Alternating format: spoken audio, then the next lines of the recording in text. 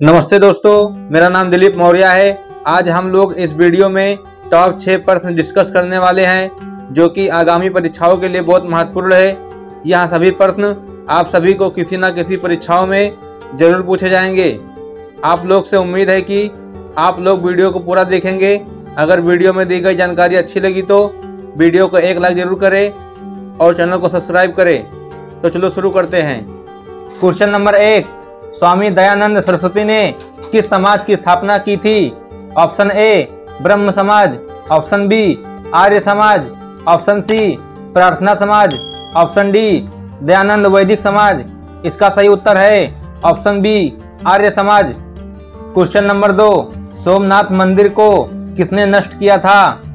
Option A, Mohammad bin Qasim. Option B, Sultan Mahmud. Option C, Qutubuddin Aibak. Option D, Mohammad Ghori.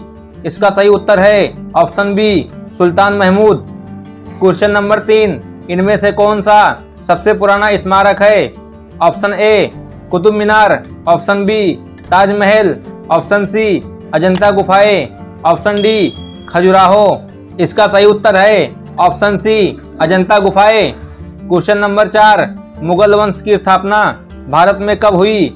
Option A 1455 में option B 1688 में option C 1526 में option D 1822 में।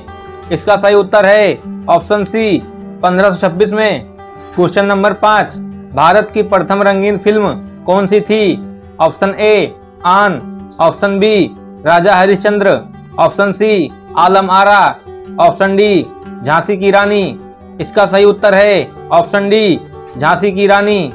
Question number छह, किस देश को Europe का मरीज़ कहा जाता है? ऑप्शन ए, फ्रांस को। ऑप्शन बी, जर्मनी को। ऑप्शन सी, इटली को। ऑप्शन डी, तुर्की को। इसका सही उत्तर है ऑप्शन डी, तुर्की को।